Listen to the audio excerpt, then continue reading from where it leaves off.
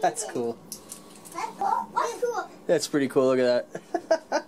so I recently purchased the MMU 2S upgrade for the Prusa printer I have. And the main reason I got it was soluble filament. And that's because I've recently started printing these babies.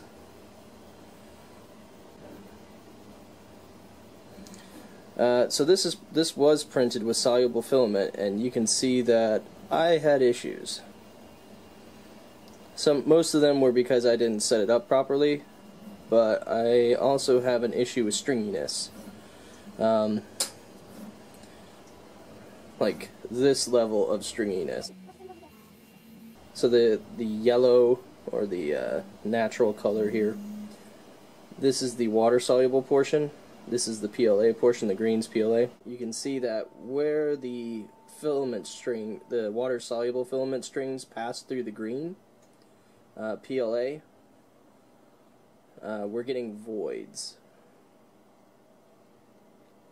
Alright, just not very good. So what I did was, and I'll show you what I did. So I did this one thing, and it just made all the difference. So you can see here, this is a failed print due to the MMU2S not loading correctly.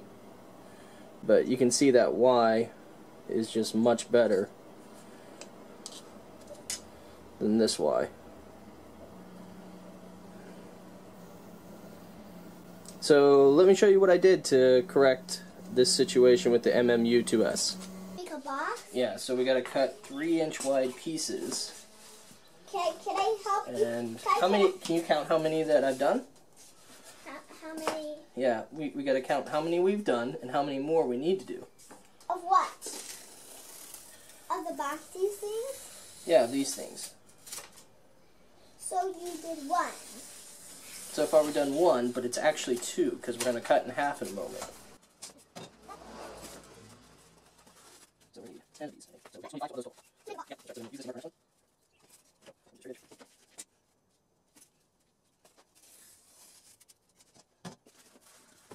I make uh, small versions of this. uh, in here. There's one of these. That's pretty cool. Alright. Yeah, make small versions of this. Uh, I but, uh. You can hacksaw. I just want the edges around this. You know, it's a dull blade. Cha. Alright. So that will go in like so.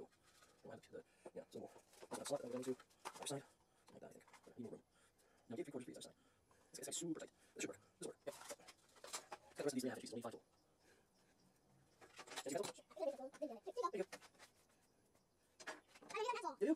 Fine.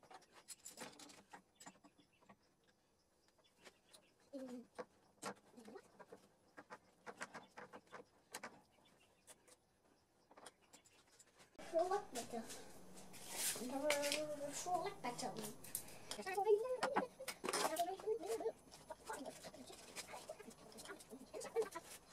Right.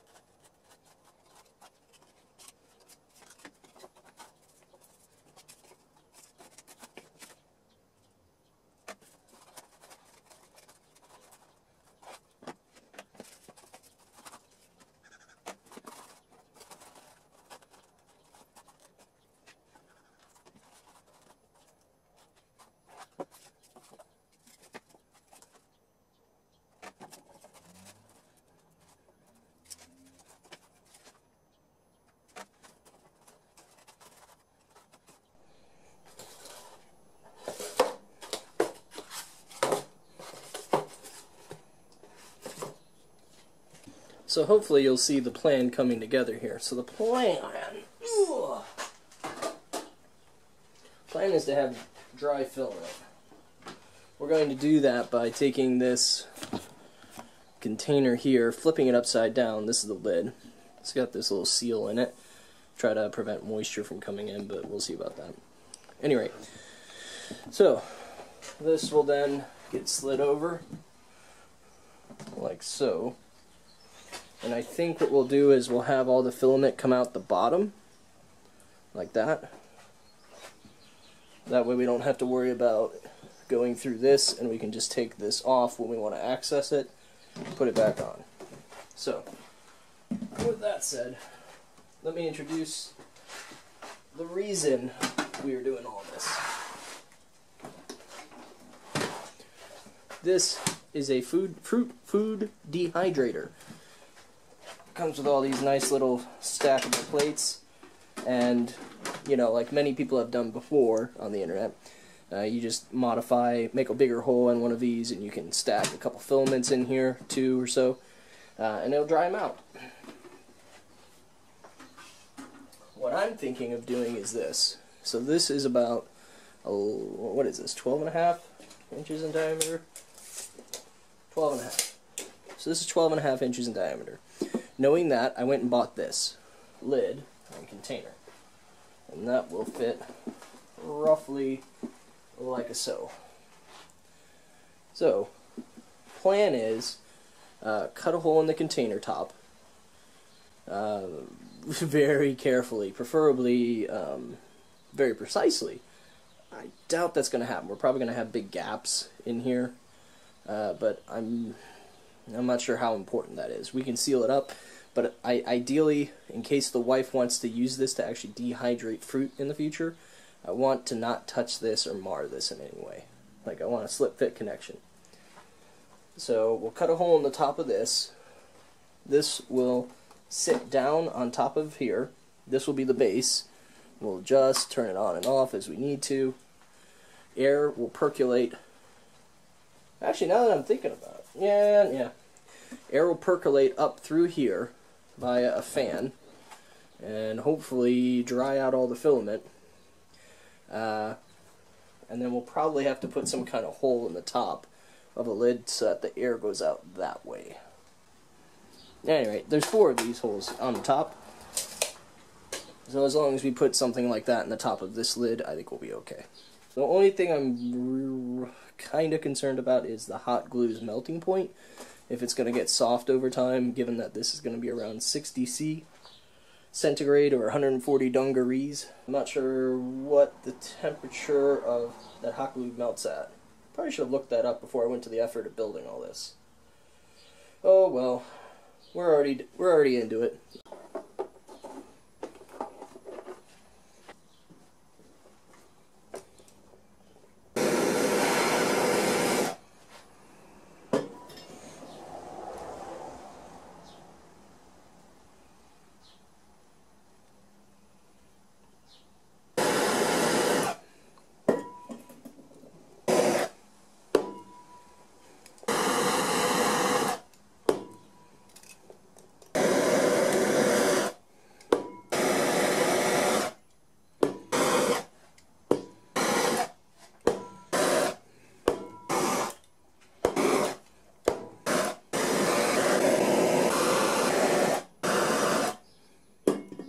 Not too bad.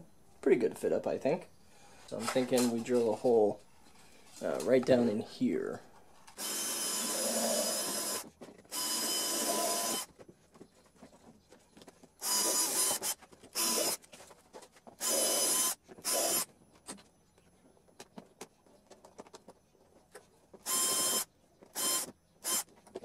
Okay, let's go set this up downstairs.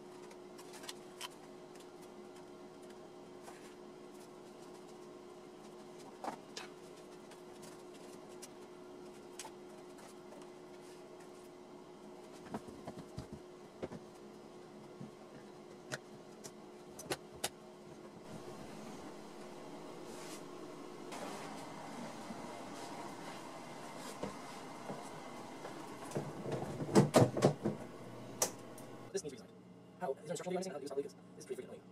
So I'll just pull that out. There we go. There. Much better. So we're going to take that. Three. That's one, two.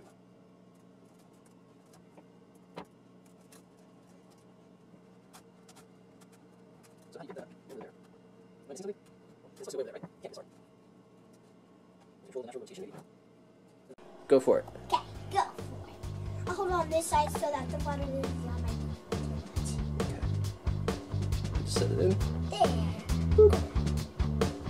All right, now we just need to wait a little bit for it to get soft.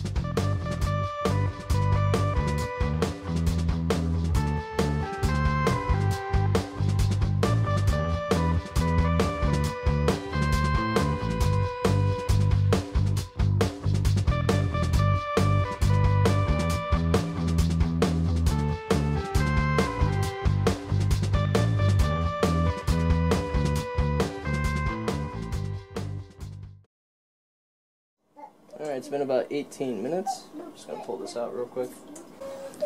Very soft to the touch. Yeah, it's pretty much just moosh right now. So I, I think we could probably start pulling some of these out. Oh yeah, look, it just pops right out. See? That's what he said. Same here. Whole thing's just kind of Mushing right out. Daddy, go gummy bear. This again. Gummy bear. What's the gummy bear? Gummy bear. Get out of bed. Out.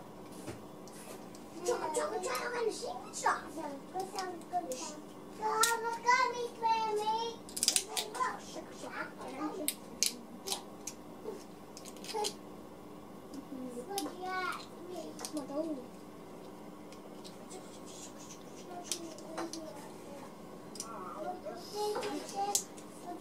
That's cool.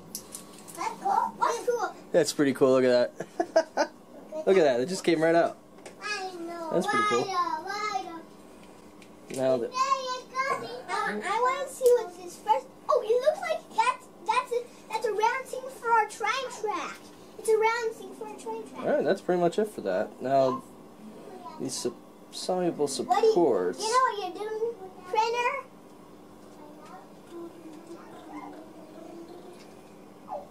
What's the first one? Ah. The rest of this, though. I wonder what it's There we go. That's not bad. I'm pretty sure I could just leave this in the water and all of this would just dissolve away completely. But the question is, what is the amount of time it takes to go through one of these and prep it? Or even if I had maybe something that uh, would agitate the water, might do that on its own as well.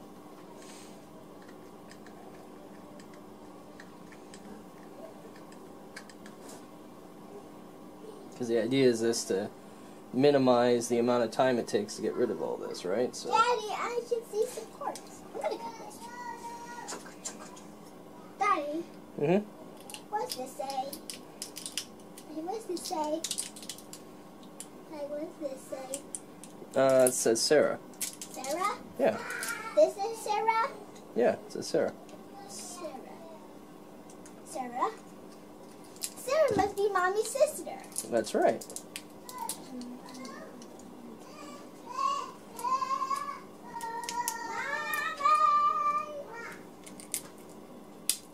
Oh, fail. Fail. Well, some glue. I think we'll leave one of these uh, with that big glob of glue sticking all over the place in the water and see what happens. This one with a little bit of brushing and some care came out pretty pretty decent all all things considered. Hey everyone, thanks for watching. I hope you found this useful, this interesting, and that interesting. Uh, but uh, yeah, thanks for watching. I'll see you catch you next time.